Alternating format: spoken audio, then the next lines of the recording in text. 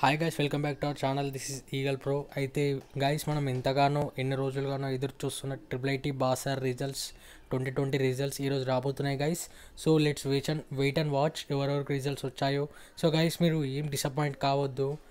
So మనకు ఒక వే ఒక రూట్ అనేది క్లోజ్ అయితే ఇంకొక రూట్ ఖచ్చితంగా ఉంటుందని మీరు గమనించాలి గైస్ సో గైస్ మనం ఇదైతే ఓన్లీ ఇన్ఫర్మేషన్ మాత్రమే.